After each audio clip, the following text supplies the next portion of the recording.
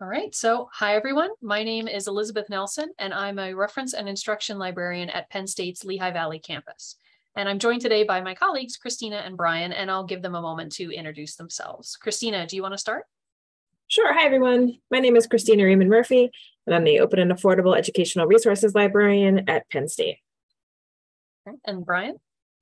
Hi, everybody. I'm Bryan McGeary. I'm the Learning Design and Open Education Engagement Librarian at Penn State, and I'm located at the uh, Greater Allegheny campus just outside of Pittsburgh. All right, perfect. So today we're here to talk about how we created a multi-campus train the trainer model for librarians supporting OER adoption called OAER Leads. Uh, in today's session, we'll start out with a brief overview of OAER Leads as a train the trainer program, We'll touch on our program's goals, structure, and the impact we're seeing so far. We'll also share some obstacles and opportunities that have emerged, uh, as well as how we attend, intend to assess our resulting adoptions. And we'll close our presentation today by sharing access to some of our materials for your adaptation and reuse. And now I'll hand it over to Christina to tell us a little bit more about the program. Thanks, Elizabeth. So we'll get started with some information about the OAER Leads program. One quick note, OAER is an acronym used at Penn State to mean open and affordable educational resources. For us, it's an umbrella term that includes OER, of course, as well as affordable materials and library licensed materials. And at Penn State, affordable materials are defined as costing less than $50 for all the materials assigned per student. We're also privileged to have access to a large and broad collection of library ebooks and other licensed materials that instructors can assign as course materials at no additional cost to students. So those are included in this umbrella term as well. The OAER LEADS program is funded from two sources, one internal and one external. We have internal funding via the Sally W. Kalin Librarianship for Innovation, which I received, and which allows me to create and support projects like this one. We also have received external funding through um, a 2021 Penn State University Libraries Giving Tuesday campaign, which had, uh, of all the campaigns that happened at Penn State, one of the library ones was to support ongoing OER initiatives and to expand um, our adoption program. So the OER Leads program is structured as a train the trainer model. I created the program and Elizabeth and Bryan joined me as co-facilitators, helping to pre prepare materials to support the librarians that are going to join us in this. The librarians who became our first leads cohort learned about supporting OER and faculty adopting OER as a community of practice, sharing questions and ideas as they progressed through the training portion of the program. Then the leads were able to immediately put their skills to practice via local OER adoption programs at each of our eight participating Penn State campuses across the 20 across the Commonwealth. These adoption programs were incentivized via funding from the OER, OAER Leads program as well. So they serve a double purpose. They help our leads get OER support started up immediately on their own campuses, and they also help us in continuing our goal of supporting faculty at all campuses to adopt OER and to learn more about open educational practices. To give you an idea of the timeline involved with this work, you can see here on the left that we started this program in spring of 2022. During that time, Elizabeth, Bryan, and I created our training manual, which we'll be sharing a link in a few minutes to in the chat. During spring 22, we also selected and began onboarding our leads librarians.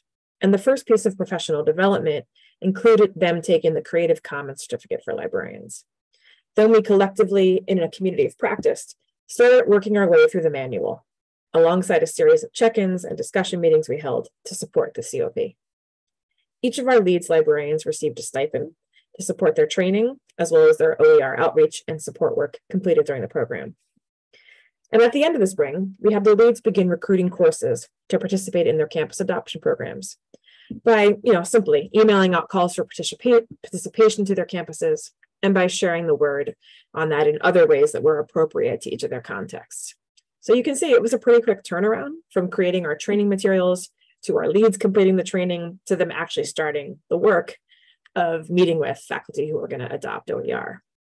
During the summer of 2022, the librarians started to work with these faculty, set up meetings with them to discuss their courses, and started exploring their options for adopting OER, affordable materials, and or library license materials. The adopting faculty also each receive stipends per each course they have accepted to the program.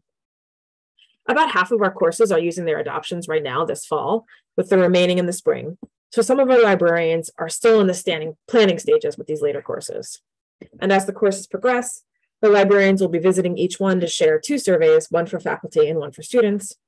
We'll mainly be assessing faculty and student perceptions and experiences with OER, but we're still in the process of creating those surveys, so that focus may narrow as we work through it. And finally, next summer in 2023, we'll be collating all that data back from the surveys that we get and starting to assess it, along with additional data we're collecting on cost savings and other impact measurements for each course. We're preparing to share our findings more widely at that point as well, likely via a publication.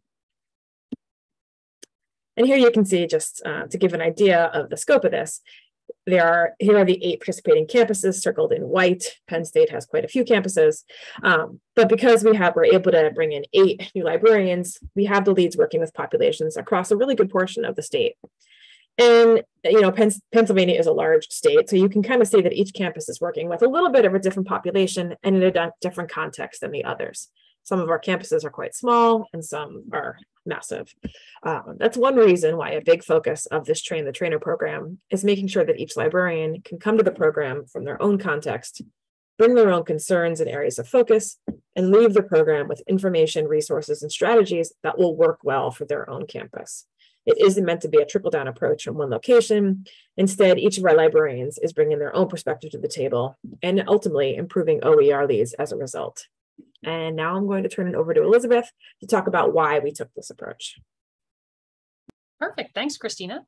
Uh, so I'll briefly share some of the goals we had for how the OER Leads program might impact our libraries and our campuses.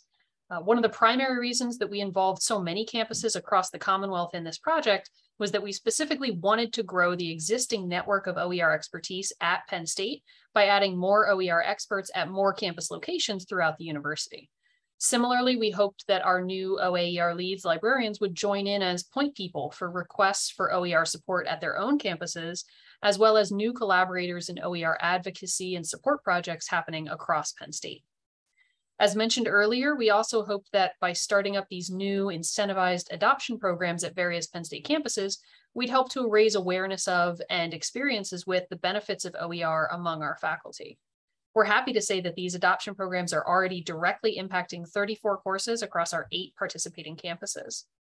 And we're also hoping that as our faculty take part in this program, we'll see a ripple effect of them sharing their experiences, the benefits they learned, and, and the lessons they learned with their peers. And that as a result, we'll start seeing more spontaneous requests for help finding OER from those peers as well.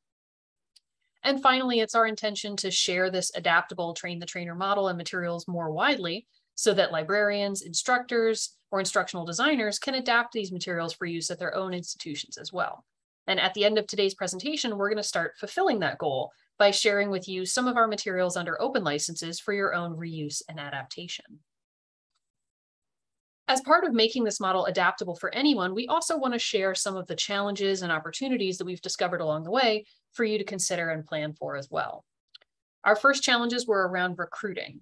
Uh, getting enough librarians who had the capacity for the additional workload of participating in this program was difficult, but we had an even harder time getting faculty to sign on. Um, and interestingly, it doesn't appear that that was related directly to campus size. Both our smallest participating campuses and our largest campus, University Park, had difficulty recruiting more than one or two faculty members. However, other campuses in the program recruited between five and nine faculty members. So it seems like this may have been more of a situational challenge than an issue with the overall program. We also had some challenges with faculty who signed on to the program, but really wanted to do more of an authorship project than an adoption project, which was unfortunately outside of our ability to support within this program. Uh, some bigger picture challenges right now include the future and long-term sustainability of the program within the OER environment at Penn State, as well as one of our larger goals of using this program as a stepping stone toward making connections around OER between faculty and departments at different campuses. Uh, exactly how we're going to be tackling that, we're still determining. However, one of the opportunities that OER Leads brought us was the beginning of making those connections as we were able to share what's happening within this program at each participating campus And we're also beginning to connect some faculty within the program with shared or related courses. Uh, we were also able to share with our faculty and our campuses just a general greater awareness of both library resources available to them and the benefits of OER as course materials. Uh, OER Leads has also provided us with a proof of concept model for uh, how we can distribute the workload of OER support around Penn State while still sharing centralized funding and, and uh, organization. Our Leads librarians have repeatedly told us that the community of practice we created together has been a significant help to them and one that we all hope to continue to use and grow. And finally, this model of support and our new COP are both steps toward an ultimate goal of building Penn State's capacity to support OER at a scale to match the size and breadth of our institution. And now I'll hand it over to Bryan to talk more about the impact of the program so far. Thanks, Elizabeth. Um, so we're doing a number of things in terms of uh, evaluating the impact of this program and sharing about that. Um, first of all, we're developing surveys that will be distributed to uh, faculty who are participating in the program, as well as to the students in the courses where they're actually deploying their, their newly adopted open and affordable course materials. And uh, these surveys will help us to, to learn more about the uh, qualitative impact of the new materials on student learning and on the, the teaching process for, for the faculty, but also uh, to learn more about uh, the success of uh, the program in supporting the faculty to actually do this work of transforming their, their courses. Um, additionally, we'll be calculating cost savings that have been realized by shifting to these new course materials. And uh, in the Leads manual, we have a detailed explanation of how we'll arrive at those calculations. In terms of assessing the effectiveness of the program from the librarian's perspectives, uh, we're going to collectively determine our assessment strategy within our community of practice that we have of, of all the uh, librarians who are participating in the LEADS program. And uh, because this program was funded through a combination of endowment funds and fundraising dollars, We'll also be sharing this information back with our relevant internal stakeholders at Penn State to show what we've achieved with that funding and to try to make a case to hopefully get you know continued funding for this effort.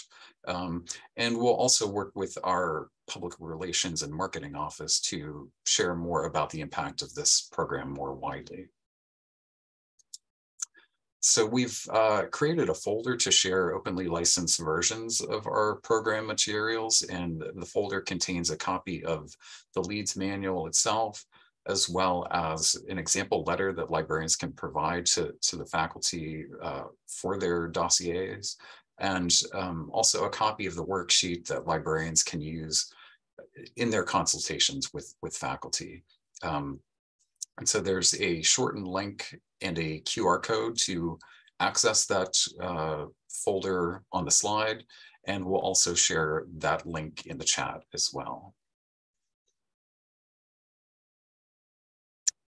And so thank you all for attending our presentation today. And if you have any questions or ideas to share, either for us or for our Leads librarians, or if you have any thoughts or requests about the materials we're sharing, please feel free to contact us at the uh, email addresses on the screen. And again, thank you all for attending.